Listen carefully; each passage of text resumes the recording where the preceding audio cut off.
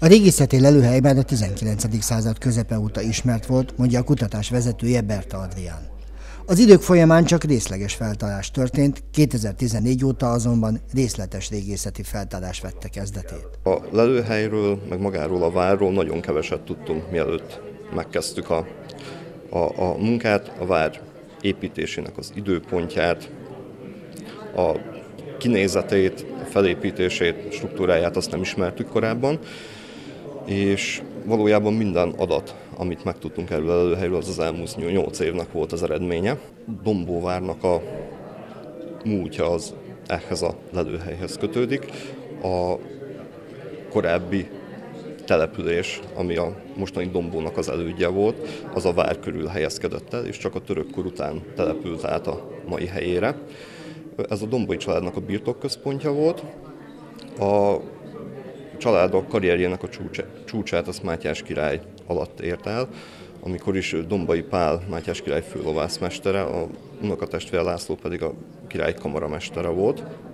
Úgyhogy ez egy jól kiépített főúri rezidencia volt, ahol egy a Magyarország egyik főúri családja lakott. Van a vár feltárása során ö, kibontakozik az a kép, ahogy egy család elkezdi felépíteni a politikai karrierjét és gazdaságilag kezd megerősödni.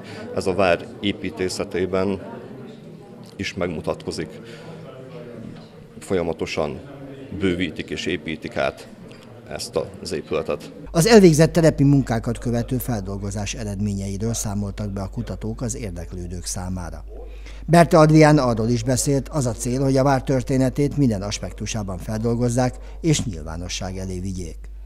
Magára a, a építészetre, az építőanyagokra, az előkerült lehetanyagokra, a környezetnek, a tájnak a vizsgálatára koncentrálunk. Várnak eddig nagyjából a 24%-át tártuk fel, emellett pedig elkezdtük a településnek is a kutatását roncsolásmentes módszerekkel, elsősorban geofizikai vizsgálatokat értünk ez alatt.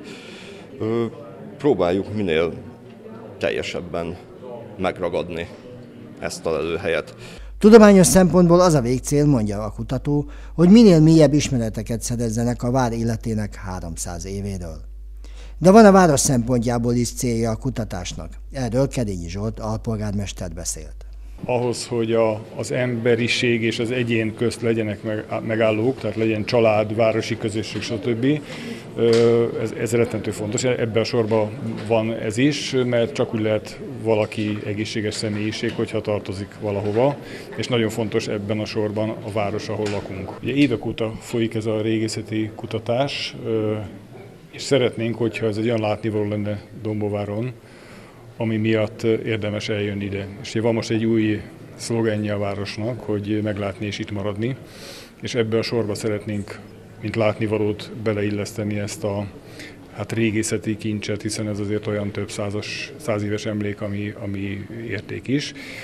És nyilván ez sok mindent feltételez. Egyébként elindult egy folyamat, hogy egy kicsit megtisztítsuk ennek a környékét. Itt korábban ugye állatok legeléztek, meg, meg veszélyes hulladék is volt lerakva, ez most már elkerült, és hát szeretnénk majd ezt egy látogató központtá tenni. Nyilván ez hosszabb távú dolog, hiszen még a régészeti kutatás is folyik, de én azt gondolom, hogy van ennek realitása, hogy ez megtörténjen.